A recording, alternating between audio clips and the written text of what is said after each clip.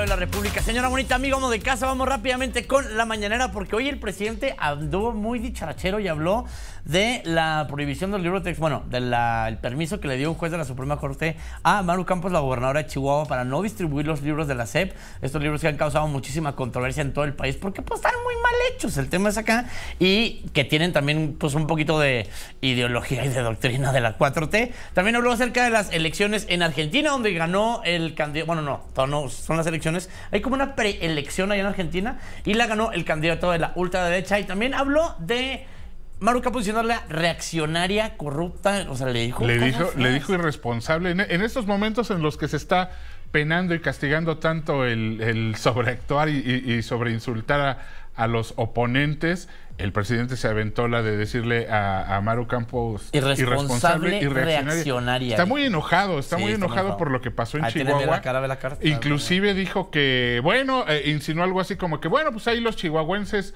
o, ¿cómo se dice? ¿Chihuahueños o chihuahuenses? chihuahuenses los chihuahuenses, pues han de querer crecer maleducadotes, ¿verdad? No han de querer la educación, eso es lo que la gobernadora quiere.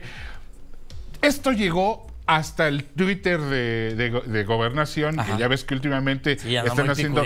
Y vamos, hay que resaltar que hizo campaña el señor presidente. Es un tuit que seguro lo van a hacer bajar en el futuro, porque el señor desde, desde el Twitter de gobernación dijo que los que, ahora sí que los que no quieran ser educados, deben votar por la oposición y los que quieran tener buena educación en ya Chihuahua dice, ya, saben, por dónde ir. Ya saben por dónde ir. Eso claramente es campaña. Sí, Eso es campaña. Pero ahí se vio muy listo porque no mencionó nada, nomás dijo ya saben por dónde caminar, dijo. Sí, pero, el tema es que hablo, criticó esta decisión de no distribuir los libros de la cepa en Chihuahua y le dijo a Maru Campos irresponsable y reaccionaria. Tenemos de dónde el presidente se está mofando ahí de Maru, vamos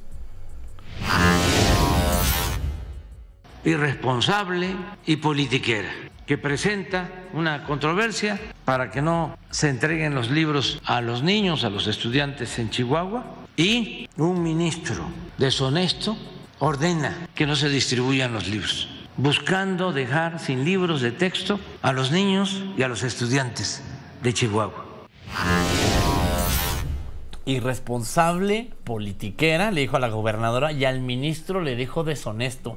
Obviamente esto, como es el sello de la casa de la 4T, sin pruebas, puros chistes, puros diretes, pura cosa que nomás inventa el señor cuando está enojado. Y está enojado porque, pues ya le aprobaron a Chihuahua que no se distribuyeran los libros de la SEP, pero está todavía más enojado porque, pues ya lo revisó y ya haber visto que tiene un chorro de errores. Pero también, ¿verdad? Sí, güey. o sea, es que... Pero el tema es que ya están impresos, o sea, ya no puedes, ya no puedes salirte con la tuya, güey. o sea, ya está el material ahí.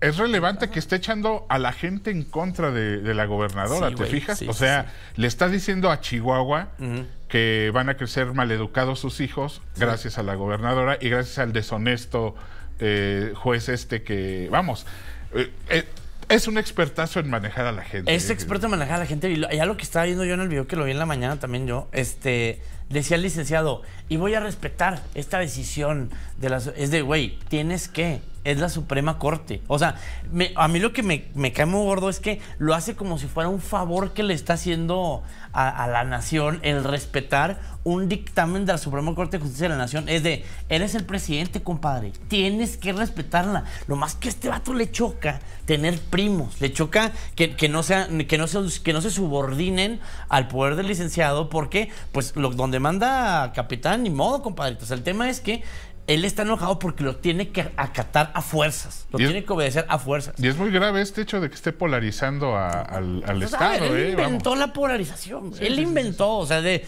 no, no, no, no nos vayamos tan lejos, es una de las cosas que está diciendo Xochitl Gálvez de ya basta de los discursos de odio, es de, güey, ahí empezó con él. El que inventó lo de los es el que inventó lo de los este, privilegiados, la mafia del poder, todo, todo esto lo inventó AMLO, pero lo tejió desde hace años, güey. Y el tema es que hay un análisis muy cañón que leía luego que decía desde cuando agarras banda que está frustrada y te vuelves el, el líder de esa frustración, fíjate, es la gente piensa o la haces pensar que si gana el gran perdedor, como Andrés Manuel que perdió estas elecciones, dice, si gana él, vamos a ganar todos. Entonces la victoria como que va a, ¿sabes? Como que a, a derramarse. Sí, es el síndrome del cadenero que se vuelve dueño del. Ándale, O güey. es- eso, es eso. eso justo. Porque está muy fácil decir el discurso de tú no tienes porque el otro te quitó.